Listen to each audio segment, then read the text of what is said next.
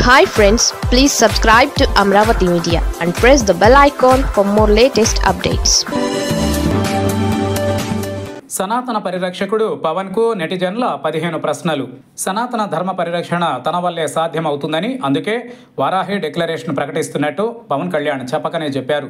సనాతన ధర్మం పేరుతో రాజకీయాలే ఆయన ఎక్కువగా మాట్లాడారు. వైసీపీ ప్రభుత్వం హయాంలో సనాతన ధర్మానికి భంగం కలిగించిందని ఆయన ఆరోపించడం గమనార్హం. ఈ సందర్భంగా సోషల్ మీడియాలో కొన్ని ప్రశ్నల్ని సనాతన ధర్మ పరిరక్షకుడికి నెటిజన్లు సామాజికవేత్తలు వేయడం గమనార్హం. అవేంటో తెలుసుకుందాం. ఒకటి తాను చదివిన లక్ష పుస్తకాలలో సనాతన ధర్మ గ్రంథాలు ఎన్నో చెప్పాలి. రెండు తాను చాతుర్వర్ణ వ్యవస్థను నమ్ముతానని బహిరంగంగా ప్రకటించుకోవాలి. మూడు మహిళలు పురుషులు సమానం కాదని నమ్ముతున్నారా? నేరుగా చెప్పాలి. నాలుగు. హిందూ మతం ప్రాథమిక విలువ ఏకపత్ని వ్రతంపై తన వైఖరి ఏంటో పునరుద్ఘాటించాలి. ఐదు. ఒక ప్రజాప్రతినిధిగా పాలకుడిగా తనకు మార్గదర్శకత్వం వహించేది రాజ్యాంగమా? లేక తన దగ్గరకు వచ్చేవారు ఏ మతం వారు అన్నది చూసి వ్యవహరిస్తారా? చెప్పాలి. ఆరు. తన కుటుంబంలోని నాస్తికులపై ఆయన వైఖరి ఏంటి? ఏడు. తన కుటుంబంలోని ఇతర విశ్వాసాలు ఉన్నవారిపై ఆయన వైఖరి ఏంటో చెప్పాలి. ఎనిమిది. సనాతన ధర్మం నమ్మే వారితో ఆయన సనాతన ధర్మం అంటే ఏంటో పూర్తిస్థాయి చర్చకు సిద్ధంగా ఉన్నారా? తొమ్మిది. శాస్త్రీయ ఆలోచన విధానం నమ్మే వారితో సనాతన ధర్మం విషయంపై చర్చకు సిద్ధంగా ఉన్నారా? పది. హిందువుగా జీవించు హిందువునని గర్వించు అని హిందూ మత విశ్వాసులు భావిస్తారు. తప్పేమీ లేదు. మీరు ఎప్పటి నుండి ఈ ఆలోచన చేస్తున్నారు?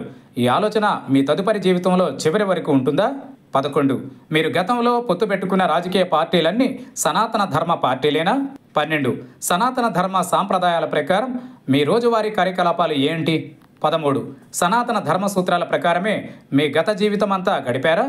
భవిష్యత్తులో జీవిస్తానని హామీ ఇస్తారా? పద్నాలుగు. భవిష్యత్తులో మీరు తీసే సినిమాలన్నీ కూడా సనాతన ధర్మాన్నే ప్రబోధిస్తాయా? అందుకు భిన్నమైన విషయాలు అందులో ఏమీ ఉండవా?